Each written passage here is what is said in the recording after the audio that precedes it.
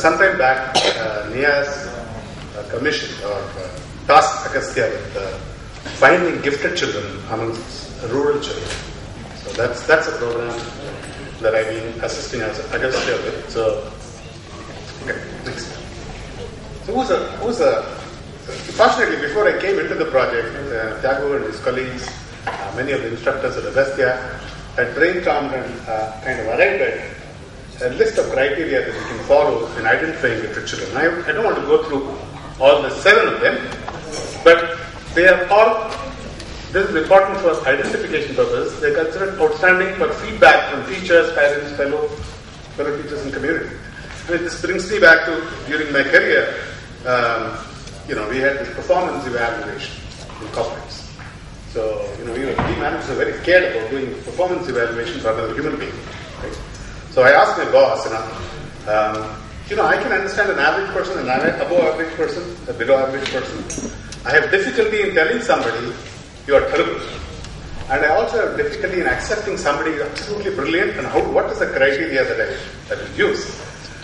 My boss said, don't, you, don't even worry, you know, don't put uh, weighted scales and so on and so forth. If somebody is truly outstanding, you don't have to find it. The system will tell you. That's exactly what we follow. Because if a child is truly outstanding and gifted, the parents, teachers, and communities know. You don't have to go about you know with a magnifying glass or something like that. So, and, and there is a level of inquisitiveness, curiosity, questioning, and commitment that is appearing to all the people around them too. Analytical ability, a whole, whole, whole bunch of things. You know, 11 flags, 11 criteria is not the purpose of this time. Uh, but in Agastya, we want to do it quite differently, and you know, thanks to young people like uh, my friend Dr. Shivkumar and uh, Mr. Ramaswamy, other young people are pretty lucky because they have these huge exhibits in the Agastya lab. So we decided that we will actually use these exhibits as a method of finding who the gifted child is. Go next. The gifted child is one that has curiosity, right? And that's one essential part. Ask questions and persistent about finding answers. You know, which better place than to go to an Agastya lab, whether it's a mobile lab or a science center or, or the Kuppam lab, than curious about it. If any of you visited, visited the labs while the children are there, you know, they're really, really, really, you know, running around like, you know, kids in a candy shop. Uh, and the candy is called knowledge, of course. Um, they have the ability to be provoked about what they observe. And there are plenty of provocative exhibits um, and they are thrilled by both regularities and oddities, and we will see some of them. Next.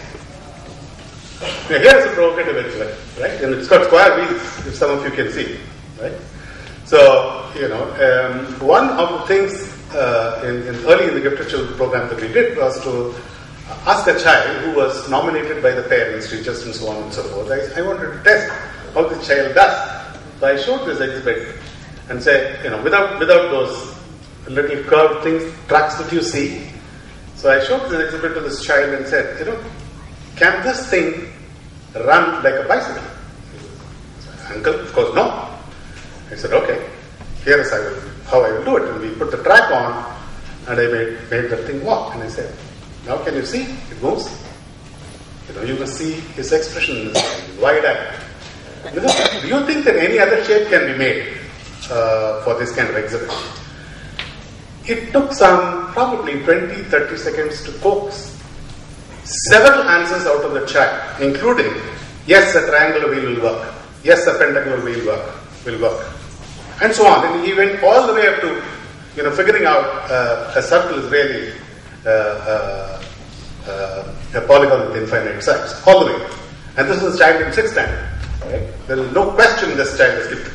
How did the science develop? You know, why, what were the reasons why people thought initially everything was going the sun? And how did they finally change over and now it is confirmed that that goes around the sun?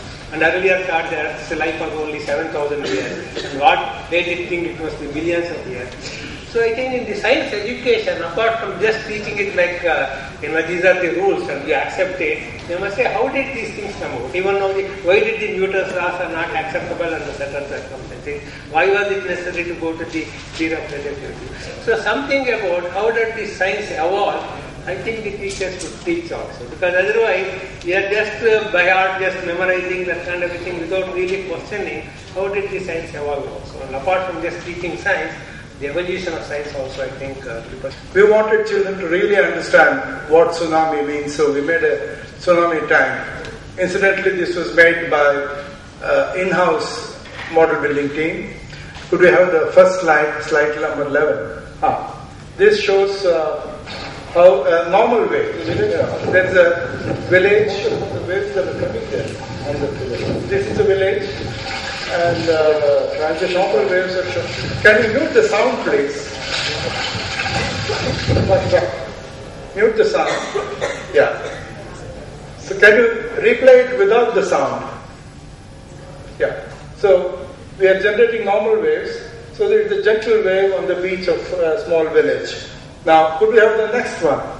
When a tsunami wave comes, a body of water comes, how it, how it washes, it's a lot of energy because the floor of the sea itself shifts because of the earthquake. This was demonstrated. Can we have it once again? Yes. Now, children get a very clear understanding of what tsunami is. We also made another model called topography model to show the campus topography in three dimension. This is uh, taken from the top.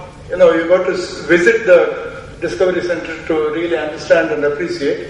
But this just uh, quickly different slides to show the geological uh, uh, features of our campus. It's rich in fertile minerals, and this is a good demonstration of what we have, the riches we have in the campus. Um, I, you know, it's not easy to really tell you the excitement that we have in Discovery Center. You must all visit if you have not and enjoy these models. Thank you very much. Many projects on hand which are not yet ready. One of them is the Astronomy Center.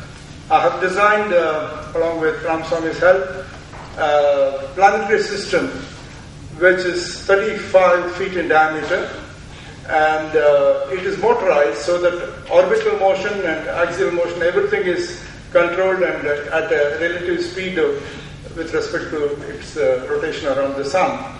And this whole model is going to be housed in an astronomy center, which will have a dome-like structure, and uh, the star system is projected from the bottom so that you get a complete uh, astronomy education center uh, to explain uh, various features like eclipses, seasons, and other things at the uh, astronomy center. This is coming up by the middle of this year. I've also got the dream of uh, making a maritime center. The tsunami tank is part of the maritime center that we are building, where we have uh, a section which shows the efficiency of different hulls of ships when there is water flow to reduce the uh, drag uh, on the hull, and uh, how that can be designed is being thought out. So it will be quite an exciting place to visit when you come back.